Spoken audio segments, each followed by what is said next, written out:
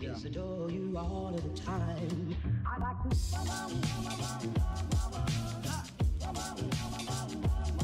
I like to.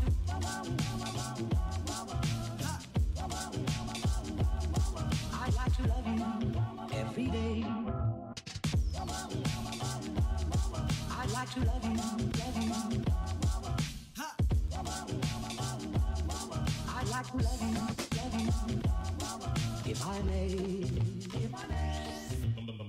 Alors, je reprends là où je m'étais arrêté en fin de première partie.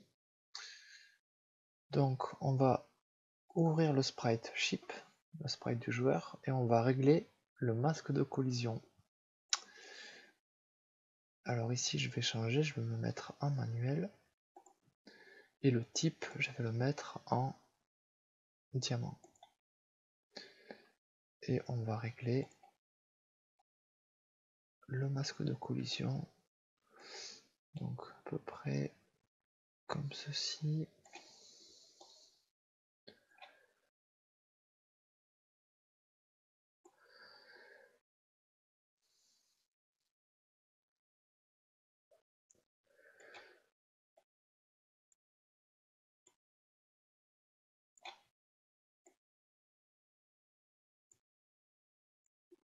Voilà.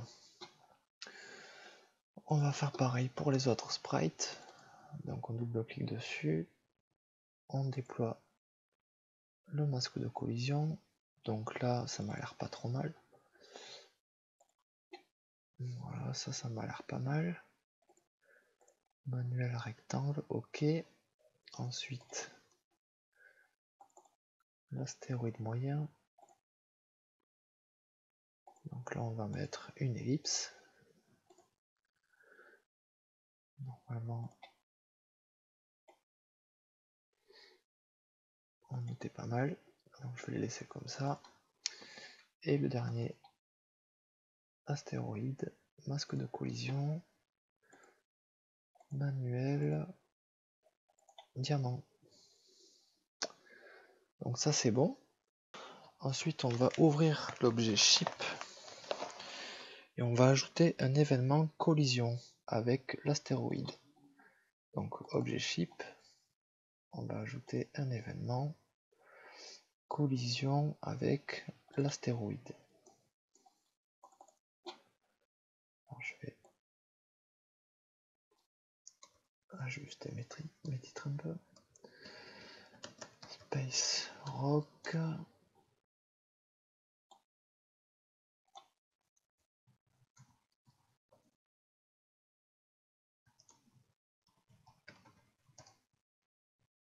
Donc qu'est-ce qui se passe lorsque lorsqu'on rentre en collision avec l'astéroïde? Eh bien la fonction s'appelle instance destroy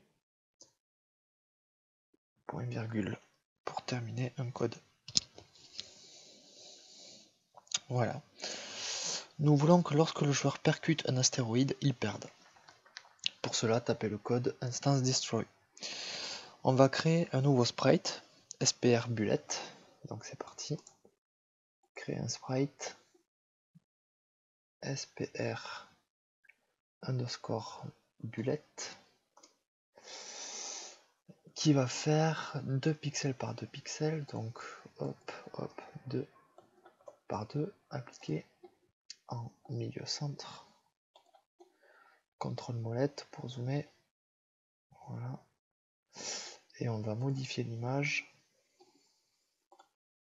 On va peindre ça en blanc. Je trouve que ça ressemble à un paint, ce, menu pour dessiner. Jack, donc ça c'est bon. Euh, le masque de collision, c'est bon. Et on va créer donc un nouvel objet, bullet. Donc obj underscore bullet et on va associer le, sprite bullet à l'objet bullet. Voilà. On va créer un nouvel objet bullet et l'associer au sprite bullet. Donc ça c'est fait. Nous allons maintenant demander que lorsque l'on effectue une pression sur la touche espace, le joueur puisse tirer. Donc je réouvre l'objet chip et dans les étapes ici, je vais rajouter double slash shoot avec la barre espace par exemple. Et je vais marquer donc je vais recopier ce code. Toujours hein, toujours recopier au maximum. Donc là on va changer. C'est pas vk up mais c'est vk space et qu'est-ce qui se passe lorsqu'on appuie sur vk space? Et eh bien instance create layer x virgule y virgule entre guillemets on appelle l'instance virgule obj bullet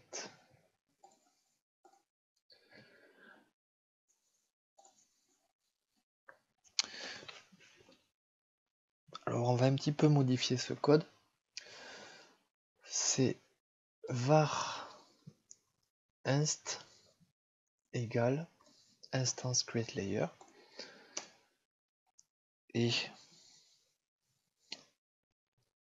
inst point direction égale image angle. Point virgule est-ce que le rouge s'enlève. Oui c'est bon. Donc mon code doit fonctionner. Euh, on va rajouter une vitesse à la balle, donc je réouvre l'objet bullet. Et on va ajouter un événement créé.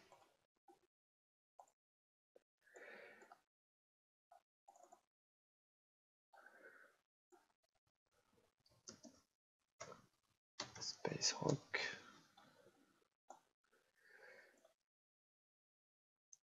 Si je vais marquer vitesse de la balle. donc le code, on va marquer speed égale 6 pixels. Speed égale 6. Petit coup d'enregistrement. À présent, si on teste le jeu, on devrait pouvoir tirer, et ce, peu importe l'orientation du joueur. Donc c'est parti, je teste ça de suite. On raccourcit clavier F5 barre espace. Alors j'ai un petit problème. Ah oui. Vous voyez, lorsque je laisse appuyer, ça fait une mitraillette. C'est parce que dans l'objet joueur, dans l'objet chip, j'ai oublié petit mot. C'est pas if keyboard check, c'est if keyboard check pressed. Voilà. C'est pour ça. Maintenant, si je reteste, donc on effectue bien une pression sur notre touche espace. Vous allez voir la différence. Vous avez vu là, ça, tirait en continu lorsque je laissais appuyer sur barre espace. Tandis que là, si je retire, il va... Voilà, là je laisse appuyer sur barre espace. Il faut bien que je relâche la touche et que je rappuie pour tirer. Et ça tire qu'une fois. Coup par coup. Ok. Donc maintenant, on va ouvrir l'objet bullet et on va ajouter un événement collision avec l'astéroïde. Donc, ajouter un événement collision avec l'astéroïde.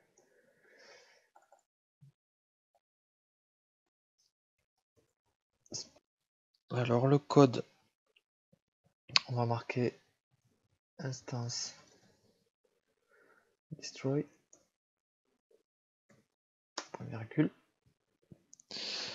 et on va rajouter with other je parle bien anglais hein à la ligne. Ouvrez.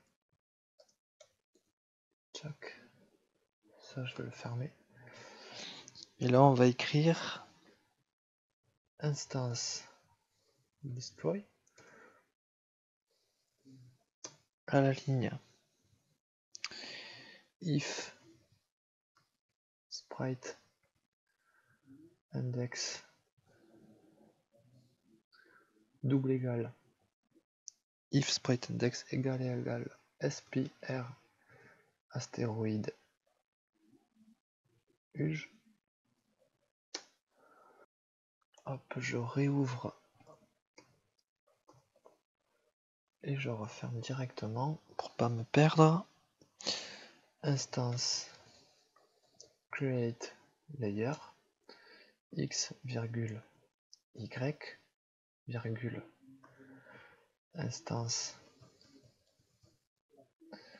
Instance virgule objet spr astéroïde. Et on finit notre ligne de code avec un point virgule. Ok. On va modifier ce code en créant la variable new astéroïde. Donc ici var. Var. New euh, underscore astéroïde égale instance create layer. Voilà. Et donc en dessous on reprend cette variable new astéroïde point sprite index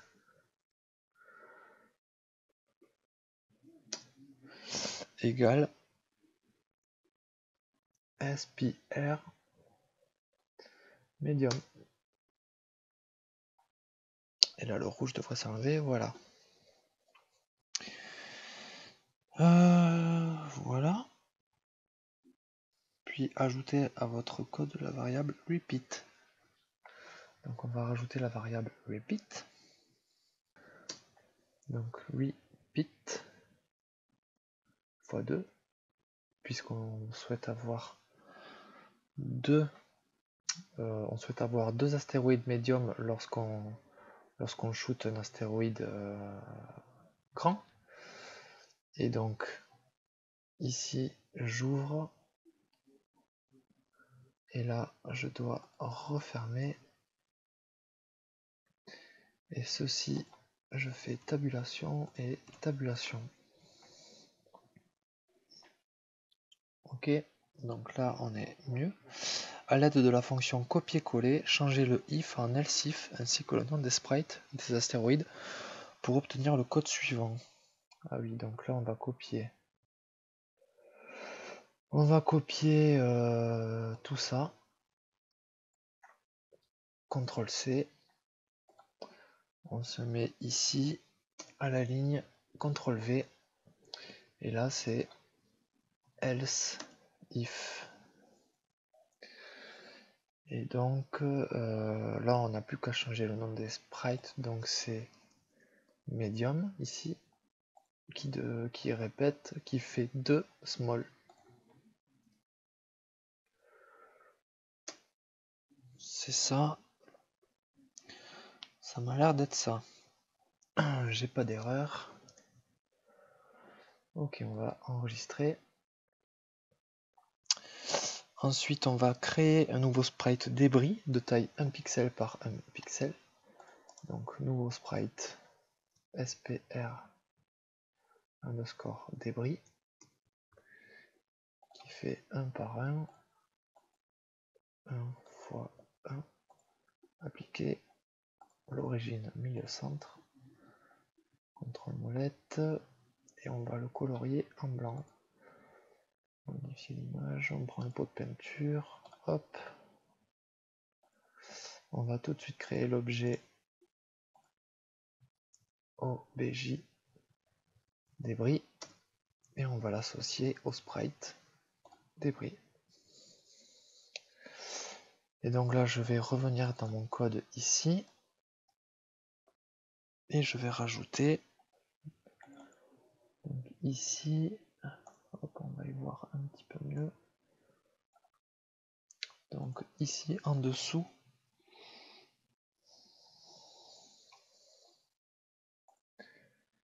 Ici, je vais rajouter repeat 10.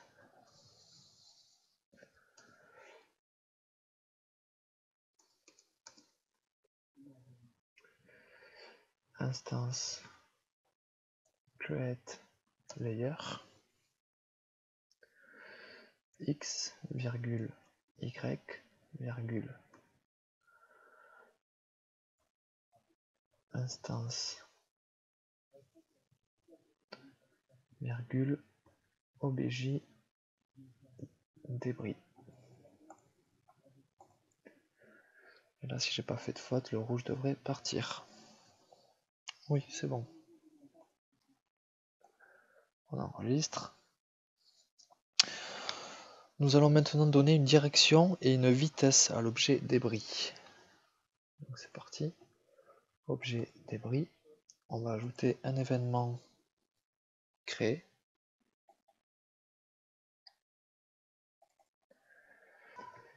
Vitesse du débris.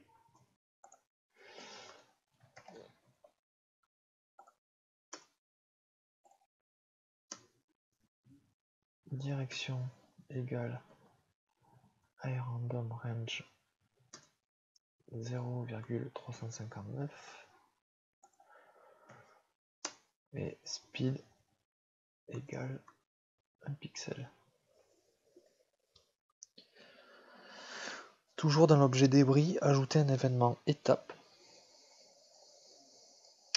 Ajouter un événement étape, puis étape. Allez hop, on remet le titre. Space Rock. Paramètre des débris de points. Pour ceux qui débutent vraiment, euh, je rappelle que vous n'êtes pas obligé de recopier les commentaires, les, les slash en vert. Ce qui compte, c'est vraiment le code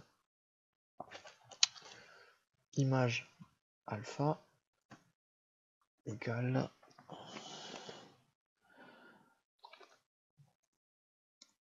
moins égale 0.01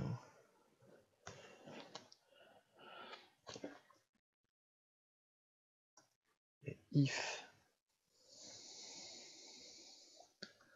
entre parenthèses image alpha inférieur ou égal à 0, qu'est-ce qui se passe si ça? Eh bien, instance if, if image alpha inférieur ou égal à 0, instance destroy. C'est tout. on va ouvrir l'objet joueur. Événement collision avec l'astéroïde. Et on va rajouter le code en suivant. Donc double slash paramètre des débris. De point donc là on va mettre repeat 10 euh, tac, la instance create layer. X virgule y virgule. Calc instance virgule objet débris. Et maintenant on va tester le jeu et donc si j'ai bien tapé mon code, on devrait avoir des débris lorsqu'on shoot les astéroïdes. Et les grands devraient se transformer en deux moyens. Voilà. Et les moyens en deux petits. Ok, super. Et voyons la collision avec le joueur. Ok, très bien. On va sauvegarder. Maintenant, on va afficher le score et un live, un nombre de vies dans notre jeu. Pour cela, on va créer un nouvel objet qu'on va appeler obj game et on va ajouter un événement créé.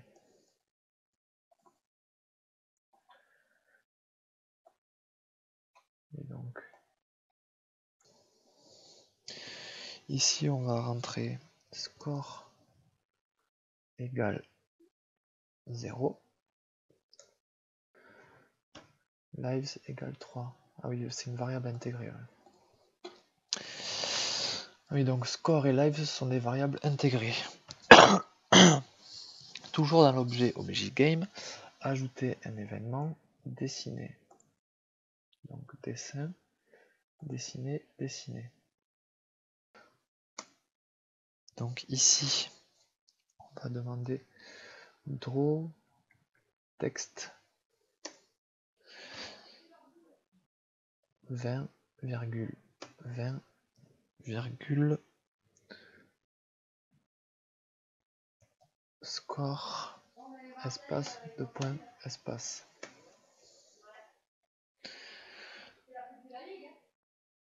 plus string entre parenthèses score.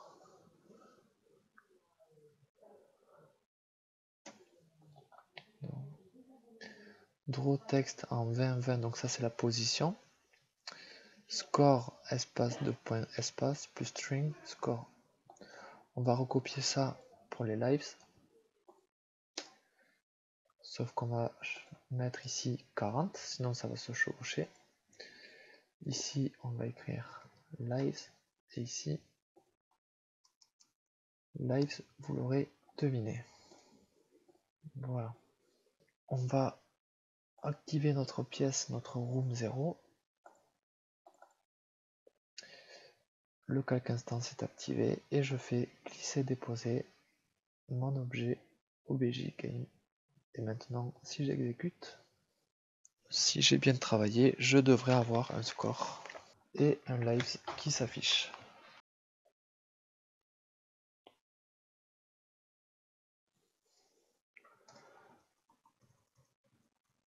Donc ok, ils sont affichés.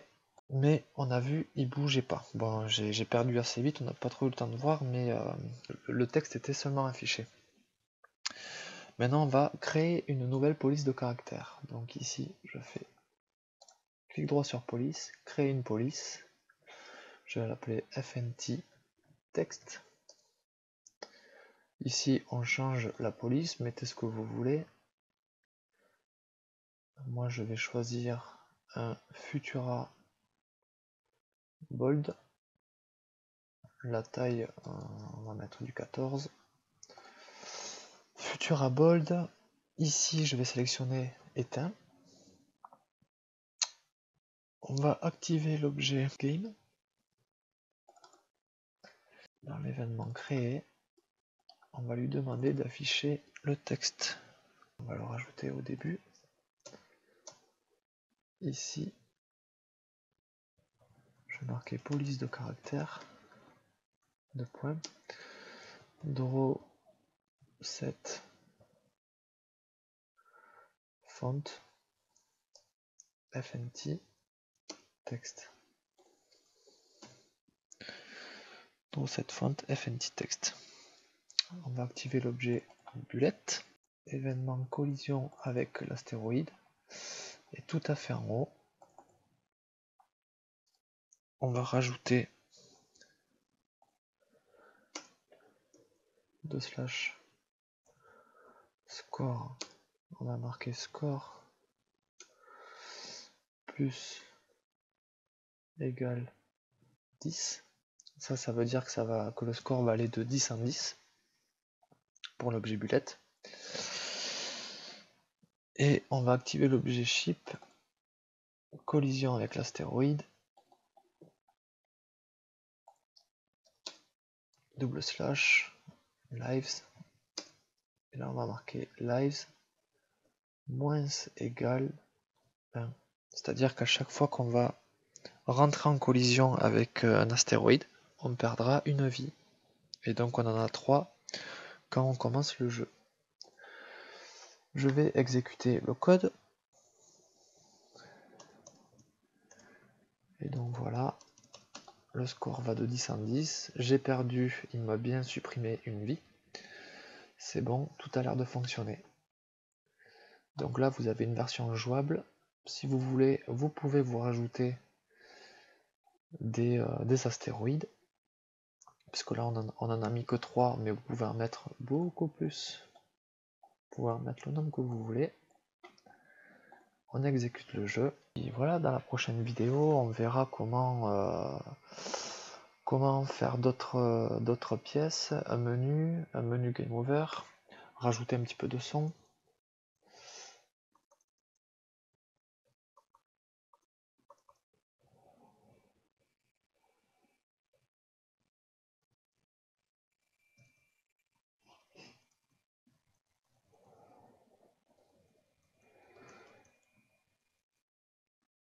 Voilà. Bon allez, j'espère que cette vidéo vous aura plu. Si c'est le cas, n'hésitez pas à me le faire savoir dans les commentaires. Et moi je vous dis à bientôt. Ciao ciao.